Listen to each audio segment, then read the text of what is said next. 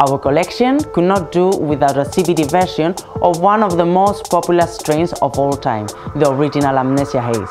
So we made this plant, the Amnesia CBD, that is suitable for all users because the effect is not that hard psychedelic. The Amnesia CBD is a sativa dominant plant. It comes from the cross of an original Amnesia and our CBD Elite clone.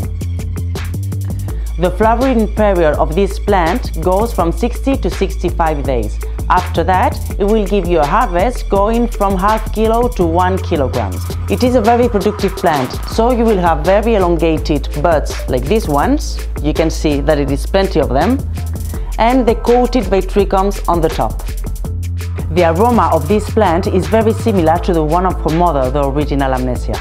We are talking about deep flavor and aroma with hints of lemon, fruits, wood and haze.